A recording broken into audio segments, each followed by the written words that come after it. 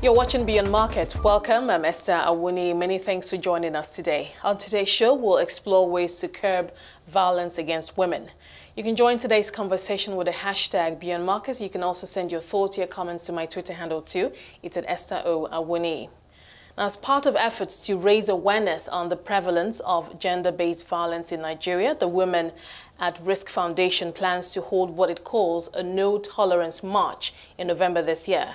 Kemi Da Silva Ibru, the founder of WARIF and a consultant obstetrician and gynecologist, joins me as we delve into how Africa's largest economy can curb violence against its women. Kemi, thank you so much. It's a pleasure to have you on the show today. Thank you very much for having me. So I'd like us to just, I know, WARIF, you, you have a couple of partnerships and, you know, in terms of how you assist women who have mm. been victims of violence, but I just want to take a, a few steps back and just ask you how this all started. Why did you start this?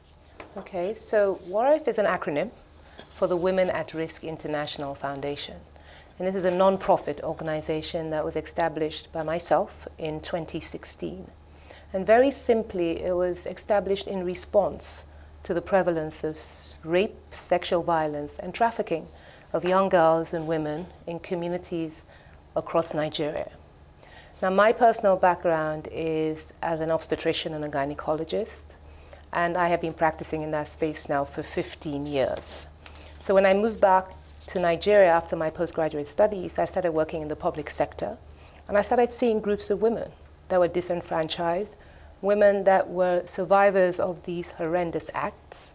They were many a time seen in um, public medical facilities because there weren't any safe spaces and designated spaces for them and um, the attention that was given to them was minimal, to say the least. So I was back then able to offer, in at least my medical capacity, some sort of assistance. So I would be able to treat the cuts and bruises. I would perhaps be able to take the more extensive injuries into the operating room. But it was clear to me that so much more needed to be done. And so we continued to do this in my personal capacity, myself and my team, until 2016, when I believe my um, line in the sand, as I always refer to it as, was a two-year-old that was brought to my attention that had been violently raped. And I use that word deliberately because we tend to shy away from that word when it comes to children. But this was a two-year-old that had been raped by her biological father. And her injuries were so extensive that even as an experienced gynecologist, I had difficulty addressing this. And so I decided then that some more structure needed to be put in place for the assistance that I was able to offer. And I needed a vehicle, hence the establishment of the foundation WARIF. Hmm. Now, when you, I mean, in speaking to this, to the victims, the women, what did they tell you in terms of when you ask when you ask them, okay, so what are you going to do about this? What action are you taking? Who have you spoken to? Uh, I'm talking about the authorities mm. now. What's what well, the usual a response? lot of times, the women that are survivors of these crimes, because they are crimes, are women that have been subjugated in their different relationships for many years. The narrative will tell you that typically that perpetrator is a person that's well known to that survivor, usually a family member, that uncle, father, sometimes a teacher, sometimes even a religious leader that um, this survivor is exposed to. In many of time, places that are supposed to be considered safe spaces, like your home or school or in a church. And then you also have to remember, Esther, that we're living in a patriarchal country where women are generally subjugated anyway. And so here's a woman that's been abused violently, probably started many years prior. She's in an environment where she's encouraged not to speak out because we spend so much more time being worried about the dignity of our family name and the impression that will be given to our neighbor as opposed to addressing the needs of our children and these young women. Did you find that to be the case in many instances? Many a time. Many a time you would have the survivor recanting her story following assistance that we render and explaining to her because many of them aren't even aware of their legal rights. And so these are women that when you see, you first have to establish the medical attention, you then have to give her the counseling that's so necessary A big part of the medical attention is the provision of the HIV tests and other sexually transmitted diseases that could be contracted. Forensic medical examinations are also critical because this then assists the law enforcement in then identifying and being able to capture the perpetrator. And then, of course, as a rape crisis center, which WARIF Center, one of the initiatives that the organization implements, offers, is we also offer, um, in addition to all the services I have just listed, welfare, social welfare. And this is where the legal aspect comes under. Many a time, as I said, if home is the place of abuse, then we need to take you out of that place of risk. And so we collaborate with organizations that have these shelters that we can then move you to. We collaborate with organizations and law firms that can offer pro bono services. And do, so they, actually, do they right. actually take it forward? Yes, they do. In terms of prosecuting? Yes, they do. If okay. you're willing to actually sit down with them and say, you know, I am ready now to take this abuser to court, they're willing to walk right next to you, hand in hand, and walk you through the process. And then we also look at vocational skills because many a time we make these decisions because we are financially constrained. Women that don't have financial means and worried about leaving the home with her children and has no way of bringing up her children, sending them to school, and even their basic livelihood is constrained and will probably be stuck in that home of abuse. So again, the WARIF Center is able to provide, in addition to the medical and counseling, all of these services. And I okay. must emphasize that we do all of this free of charge. Now, I know that uh, in the last couple of years, the conversation around gender-based violence, you know, has, you know, gathered a lot of steam, a lot of momentum. There have been pressure on our lawmakers to make, you know, stronger laws and not just making the laws, mm. enforcing these laws, especially across states, making schools and other places, you know, safer spaces. We've seen campaigns, awareness, etc. I'm just wondering, for you, from when you started up until now, what major changes would you say have taken place, perhaps from the, the law from the side, legal, from standpoint. legal standpoint? Well, from a legal standpoint, there has certainly been an amendment to the laws. I mean, when I first started, we had just the penal and southern um, criminal codes that did define rape as you know unlawful penetration without consent, be it you know vaginally or anally. But since then, we've had the VAP law, which has now become an amendment to the existing laws and has now included both gender, men and women, which we didn't have prior to 2015. And we also have now the definition of gang rape, where you have multiple perpetrators, which again wasn't part of the definition of the law prior to the 2015 amendment. And I know that another big uh, barrier is cultural beliefs. How do you get around that? Where you know you have to. You talked about some of the women even recanting because mm. you know family name yes. protection and all of that. But we still live in that in a society where the cultural beliefs are still very deeply rooted. And when it comes to issues like this, people tend to shy away and I don't know, it's even a bigger problem for the victims themselves. Absolutely, and as you rightly said, we are living in a in an environment that is steeped in traditional norms and cultural practices. And many of these practices either encourage the subjugation of women or at least certainly don't help the situation that these women find themselves in.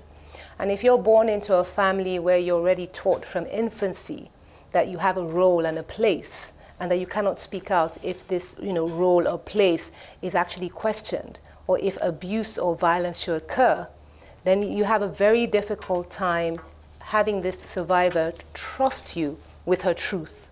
And um, when you now create an enabling environment, then it makes it easier for her to be able to speak this truth.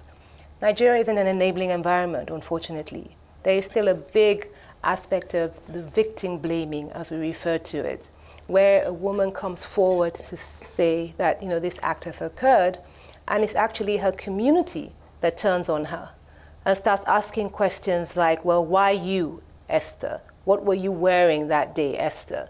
Were you out after 7 p.m., Esther? What does it matter? As opposed to identifying that, you know, this act has occurred, this crime has happened, and regardless of the circumstances, this woman did not choose this. So let's turn our focus to the rapist. But we spend all our time and energy questioning the authenticity and the role of the raped individual. But are you encouraged by the laws that we've seen, you know, emerge, and then the authorities that are in charge? Um, is, would that be the Ministry of Women yes, Affairs? The, the, the, we actually have um, quite a number of different ministries okay. that play a part in the fight against gender-based violence. Lagos State happens to be one of the more progressive states. We have the Lagos State Domestic and Sexual Violence Response Team, and this is a multidisciplinary team of different specialties and different ministries, including WARIF okay. as um, a non-profit organization. And the idea behind it was very clear. Bring experts from the different aspects, including law enforcement as well, together.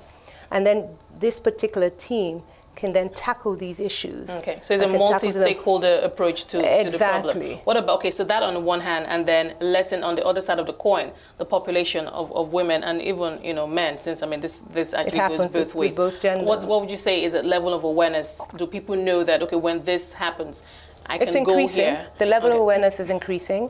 I mean, the conversation now with regards to rape, sexual violence, I think more and more we're having them. Um, I wouldn't say we're there yet in terms of full awareness. I mean, I always remind people that Nigeria is still 54% rural. And so a lot of times when we talk about awareness, we basically assume that everyone has access to the websites that are readily available or the blogs or social media. But the woman in the rural Nigeria still hasn't got access to those, um, if mm. you will. So how, how, how can all of this trickle down to the grassroots? So what we They're the ones who need it most. Exactly. So what we've been able to do at the organization is working under three specific pillars, the health, education, and community service. We've been able to holistically address the issue and tackle the issue successfully. Now, under our community service, we have an initiative referred to as the Gatekeepers Community whereby we go into these rural areas and we've trained the traditional birth attendants, the local midwives that reside in these communities as first responders. So in other words, this is a woman that's informally trained and looks after the women and the expectant mothers in her community. She's very well respected. She's trusted, and she's typically the custodian of these secrets. However, she had no, if you will, training or she had no awareness with regards to what to do when she comes across these cases. So we've successfully trained a thousand of these midwives in all the different local government areas in Lagos State. And we've been able to see as a result of that over 260 active cases to date because now they have in place a system whereby they can recognize these cases and more importantly, refer them so they can seek appropriate care. Okay, Kemi, at this point, I'm just oh, going to have to thank you for your time. If you're just joining us, Kemi Da Silva Ibru, founder of the Women at Risk Foundation and a consultant obstetrician and gynecologist, is with me today. On Beyond Marketing, we are exploring ways to curb violence against women in Nigeria. Kemi, thank you for your time so far. Thank Let's speak from where we left off. We've talked about awareness, we've talked about, I mean, from the legal perspective, uh, and we've talked about, I mean, the impact that, let's talk about the impact that all of that is having on bringing down the numbers. But then speaking about numbers, in terms of data, how robust is the data that we have in terms of where this is occurring, how many, and how we can use that to also address the problem? So as with many industries, um, including health, we have minimal data when it comes to gender-based violence. As an organization from the inception, we've had a strong monitoring and evaluation unit and we've been able to measure everything from the magnitude of the problem to the initiatives that we implement so that we can actually quantifiably say, are they effective and how effective are they? Now, the magnitude, one in four girls before age 18 in Nigeria today would have had at least one violent sexual encounter. And of that, 70% of them would have had more than one. And we're 200 million people, Esther. 100 million of us are women and 60% of us are under the age of 24. So we're looking at over 10,000 girls every day being raped in our country. In terms of the initiatives that we implement, we're able to see a significant increase, both in the knowledge as well as behavioral change, both with the male or boy child when it comes to educational initiatives, and the girl child when it comes to the female community initiatives as well as the educational initiatives that we're able to implement in secondary schools. And so we're able to say that yes, the numbers are um, increasing with regards to the awareness and the reach. And by extension, we would like to say that therefore the numbers are dropping with regards to the extent of the problem, but unfortunately not fast enough. In terms of uh, stakeholder participation and engagement? I know that apart from WARIF, there are other NGOs too who are also in this space, or perhaps uh, hopefully partnering with the government. Would you say that do we need a significant more to come into this space in terms of number of foundations such as yours to come into this space, partner, and then so that we can actually see a significant uh, Absolutely, uh, absolutely. I mean, partnerships and collaborations are critical. Because if we spend all our time working in silos, then how do we then actually quantifiably reach the multitudes of women and young girls that are in dire need of services? So we're very particular about partnering and collaborating with both governmental agencies as well as private organizations that are willing to take on this issue and work in this space. Well, speaking about partnerships, I know you, you did have a partnership with the U.S. consulate. Uh, yes, this we have, on, on, sex trafficking. We actually have an ongoing okay. partnership with the U.S. consulate. And as you rightly said, um, specifically the area of concern was the sex trafficking of young girls and women from West Africa, to, um, in this regard from Nigeria, to um, other source countries as well as destination countries.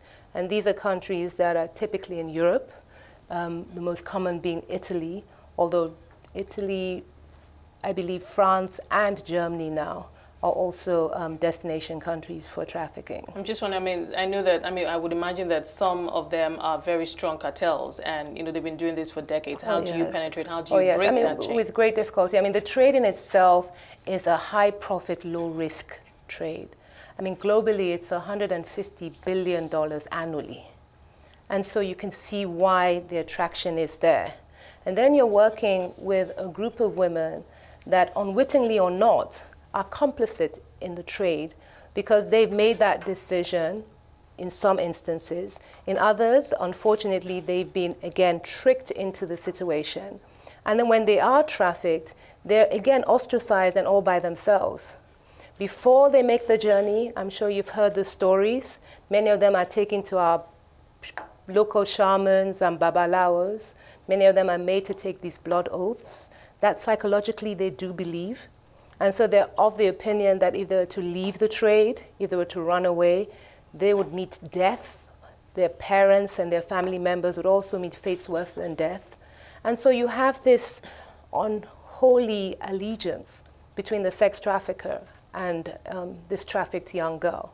I mean, the average age of a girl being trafficked today is 15 across, um, you know, global countries. And in Nigeria today, when we look at our statistics, as limited as they are, we know that at least 900,000 men and women, apparently 60% of them of that number are women, have been trafficked. As of last year, we're told that 60,000 Nigerians are trapped in Libya from the trade. Hmm. Hmm because that that on itself in itself the sex trafficking that is I mean I know it's part of this conversation but that on its it's a it's, it's a, a, whole big, different know, topic I, I, I on its own. to get to but let let's bring this back to again law enforcement. I know you've done because we've had cases where when it comes to involving law enforcement especially the police then we still interestingly, we still see cultural practices and beliefs, you know, playing a big role where, you know, women go to police, certain police stations and are turned back and told to go, it, that it's a domestic issue between the husband and wife, they should go back home and settle it. But I know you've done some training with, in terms, in terms yes, of case management. We Talk to us about uh, that. Again, it's an ongoing initiative that we're implementing. Um, as you rightly said, um, sensitization of the policeman and the challenges that a woman meets when she goes into a police station is one that's well documented and we've all heard the stories.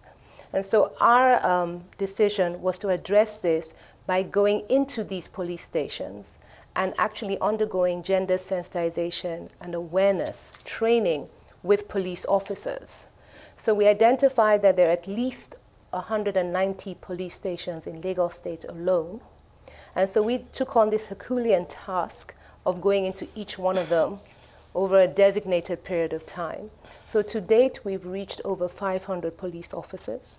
And um, we're seeing a significant change, perhaps not necessarily in the behavior, but now what we've done is we've put in place processes and protocols okay. so that that police officer now knows what to say, how to say it, what the expectation of this interaction will be, and to appreciate why it is critical to send a young lady that visits the police station to an organization and a center like WARIF within a 72 hour window. Because when, within that period of time, we're able to then run the forensic medical examinations that are necessary because all the specimens post 72 hours become biodegradable and they'll be difficult to use. We're able to start the post HIV drugs in scenarios where we're trying to again decrease the risk of HIV. And so that in itself is such an important aspect of at least her medical treatment. And then we can then start to start the psychosocial trauma intervention and counseling, which is as important as the medical therapy. So usually, I mean, without WARIF, this is not part of standard police. It is. Well, I mean, I, you would, you would. Training. I mean, well, it should be. I can't say to you that it. Um, it necessarily is not. Okay. But I find that, you know, we have to reiterate this and the importance of this. Okay. So, I mean, going forward, uh, hopefully, obviously, we can bring down the numbers. But what, uh, what is, in terms of structures, more structures you want to put in place and perhaps even more partnerships? What are your hopes in terms of how we can significantly bring down the numbers and change the narrative? So presently, as I said, I mean, we work with a unique approach under our three pillars the health education. I mean, under the education, for example, it is clear that the most vulnerable age for both the boy child and the girl child is between the ages of 12 and 16. But it's also the age that is the formative age of that young person.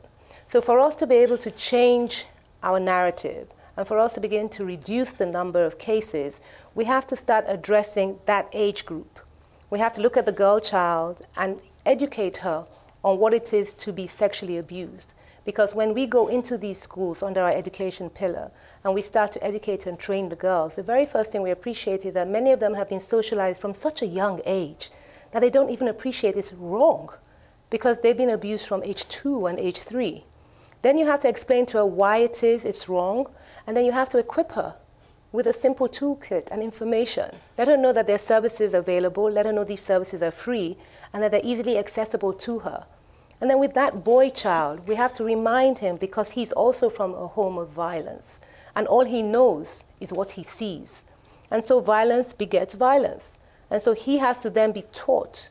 His mindset has to, if you will, be reoriented so that he becomes more of a protector than that potential perpetrator, which would be the eventual conclusion if he were to continue on the path that he is. I'm just wondering, I mean, obviously this needs to scale and of course we need for us to have more traction. Absolutely. How can we make that happen? Are you like that's why I mentioned earlier in terms of perhaps more partnerships? So we need exactly. So right these, now, okay. as you rightly said, we are at a point where we have established initiatives. Okay. We've measured them. They're working, and now it's a function of just scaling up so we have a wider reach. And as you rightly said again, this can only be done with proper partnerships, increased funding, and of course more attention and a spotlight kept on this issue of gender-based I want to go back to the legal aspect. I know it's a bit, a bit of a tricky one, but you hmm. know, many times when there's justice for the victim, it makes the whole experience less you know, painful, less traumatic. How much of that have we seen in terms of prosecutions, actual no, not convictions? Near, not nearly enough. I mean, not nearly enough. Again, it, data is very difficult and not readily available as to the number of prosecutions and number of cases that have been successfully prosecuted. And when I say successfully prosecuted by law, if you've been successfully prosecuted of rape, that's life imprisonment. I mean, by law. But I mean, how Nigerian many laws, by, okay. by the Nigerian law today? And that's both under the Northern as well as the Southern Criminal Code. But then, how many men in jail today have been jailed for life because of rape? Not nearly enough. So, wh why, why do you think that is, sir? I think it's a combination of many reasons. I think it starts from the basic environment that we live in. I think a lot of times we have to understand that when we talk about this rape culture and we you know, use the term rape culture, it really is a culture. And it's a culture because we're all enablers in this environment. We're an enabling environment if we don't speak out. You're an enabling environment if you're that bystander that's aware that your neighbor is abusing that wife of his or that child of his, but you don't intervene because it's not your business. You're enabling an environment if you turn away when you know that that child should be in school at 11 a.m. in the morning, but you see her sweeping outside and you know that the only adult in that home is a male presence. So we all have a collective responsibility to do more so that we can start changing this environment and this mindset that we have, this apathy that we have. Because we tend to imagine that because of the sheer magnitude of the problem, it's very difficult for one person to make that change. But it's just that one child, or that one woman, or man, or boy, and you transform one life, and then you see the pay forward, you see the ripple effect. Okay. And with, with women, I must say, as I'm sure you would agree, I mean, a woman is the very center, very fabric of not just her home, but of a community. And so if she's broken and abused, then it trickles out, not just to her family, but to the community. All right, Kemi, I'm, I'm, we're going to have to leave it there, but thank you so much for your time today. It's thank been an absolute pleasure having you on Beyond Markets today. I've been speaking to Kemi Da Silva Ibru. She's the founder of the Women at Risk Foundation and a consultant obstetrician and gynecologist. Well, that's it on Beyond Markets. Thank you so much for being a part of it. Remember, you can watch the show at 5 p.m. West African time daily and have access to all previous episodes of the show on our website at cnbcafrica.com. My name is Esther Awuni. Thank you for watching and have a great day.